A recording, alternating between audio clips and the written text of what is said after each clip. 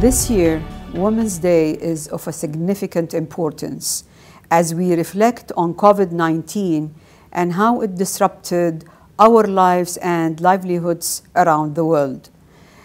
It most markedly impacted women who were left shouldering most of the hardship and struggles as the pandemic rolled back on women's gains of past decades.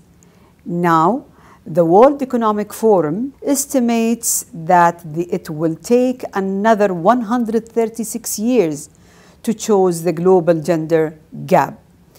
The message I want to get across today to all women around the world, and especially in the Middle East, is to apply those challenges as a driving force to enthuse the continuous growth of our vision to gain uh, back women's rights and bridge the gap through our creativity and brilliance to our governments, organizations, and business leaders.